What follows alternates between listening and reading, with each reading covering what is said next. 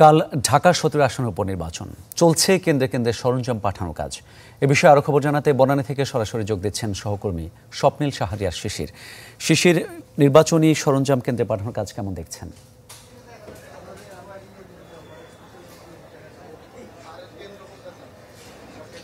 মামুন গুলশান, বনানী, ভাসানটেক এবং ঢাকা সেনানিবাসের একটি অংশ নিয়ে আসলে এই ঢাকা সতেরো আসনটি গঠিত হয়েছে এবং আগামীকাল সতেরোই জুলাই এই ঢাকা সতেরো আসনের উপনির্বাচন।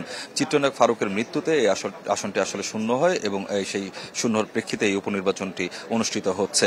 বেলা বারোটার দিকে আসলে আগামীকাল ভোটকে সামনে রেখে নির্বাচনী যে সরঞ্জামগুলো রয়েছে, সেই সরঞ্জামগুলোর বিতরণ হওয়ার কথা শুরু ছিল কিন্তু শুরু হওয়ার কথা ছিল কিন্তু দেখতে পাচ্ছেন আজকে বেশ খানিকটা বৈরী আবহাওয়া। তো সেই বৈরী আবহাওয়ার মধ্যে এখনও আসলে নির্বাচনী সরঞ্জাম বিতরণ শুরু হয়নি। তবে বিভিন্ন কেন্দ্রের যে প্রিজাইডিং অফিসার যারা রয়েছেন এবং রিটার্নিং অফিসার এই উপনির্বাচনে যিনি রয়েছেন তারা কিন্তু আসলে এই বনানী বিদ্যানিকেতনে এসে পৌঁছেছেন।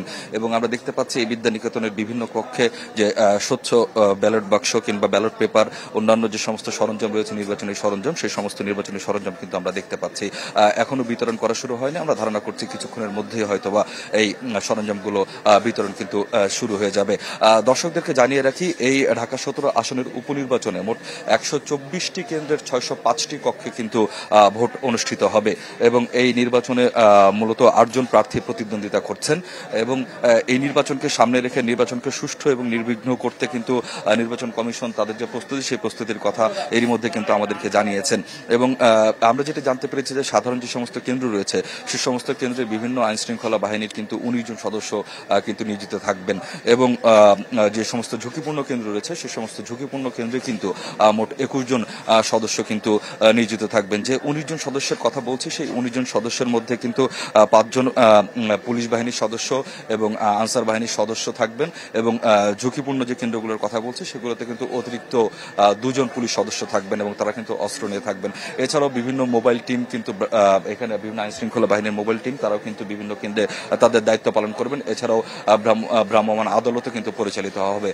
অর্থাৎ একটি অবাধ সুষ্ঠু নির্বাচন করতে যে সমস্ত প্রস্তুতির প্রয়োজন, সে সমস্ত প্রস্তুতি কিন্তু নির্বাচন কমিশন সম্পন্ন করেছেন এবং এখন শুধু আগামীকালকের অপেক্ষা আগামীকাল সকাল আটটা থেকে শুরু হয়ে বিকাল চারটা পর্যন্ত নির্বিচ্ছিন্নভাবে কিন্তু এই ভোট গ্রহণ চলবে। তো নির্বাচনী সরঞ্জাম যখন বিতরণ শুরু হবে, সেই খবর জি, শিশির, ধন্যবাদ আপনাকে। সহকর্মী স্বপ্নীল সারিয়া শিশির যোগ দিয়েছিলেন আমাদের সঙ্গে বনানী থেকে।